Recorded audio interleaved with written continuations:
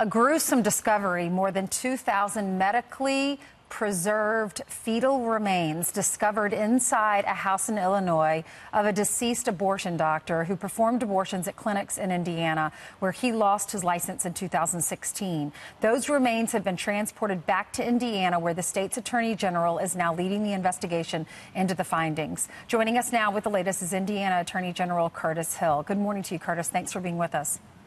Good morning. Thanks for Good having morning. me. For the folks at home that aren't familiar with this doctor's story, tell us what happened and how you found these remains. Well, Dr. Klopfer was, as you've noted, a, a, notorious abortionist in the state of Indiana for decades. And he passed away recently uh, last month. And after he passed away, his family members were cleaning up through the garage and found this discovery 2,246 fetal remains uh, that had been stored away, discarded, if you will, in the family residence. Uh, to their credit, they contacted authorities in the state of Illinois right away, and the information was reported. Uh, we heard about it here in Indiana and had our suspicions. Uh, the Indiana General Assembly, several representatives of our General Assembly contacted me, and we initiated an investigation because of our suspicion that these fetal remains uh, came from the state of Indiana. It's hard to see the images because you see these boxes being pulled out of, it looks like an office, and you know what's inside. Um, I understand corresponding medical records were, were uh, with each of these babies.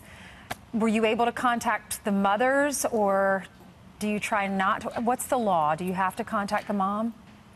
Well, this is uncharted territory. I mean, if you think about it, this was a, these are events, these abortions took place in the year 2000, 2001, 2002.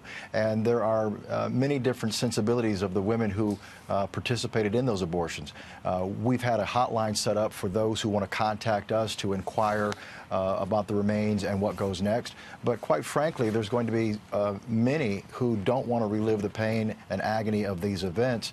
And so we're not taking a position where we're contacting anyone. We're putting a hotline out so that people can contact us.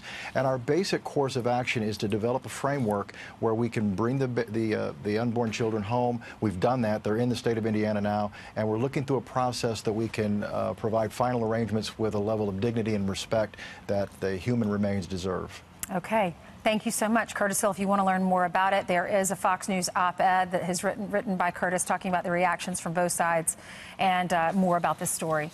Thank you, sir. Thank you.